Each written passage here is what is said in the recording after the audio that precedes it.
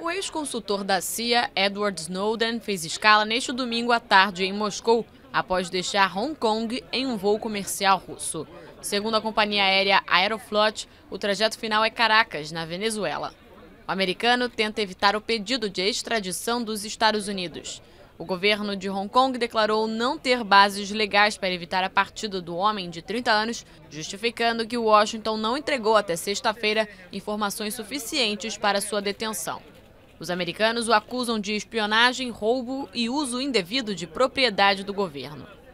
O Wikileaks, organização fundada por Julian Assange, prestou apoio a Snowden e indicou em um comunicado que o ex-agente viaja com destino a uma nação democrática, passando por uma rota segura para buscar asilo.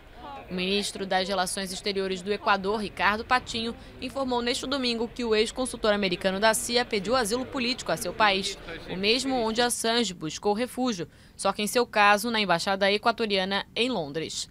O Departamento de Justiça dos Estados Unidos vai tentar a cooperação das autoridades judiciárias dos países para os quais o ex-consultor da NSA pode buscar asilo, para levá-lo à justiça e evitar novos vazamentos.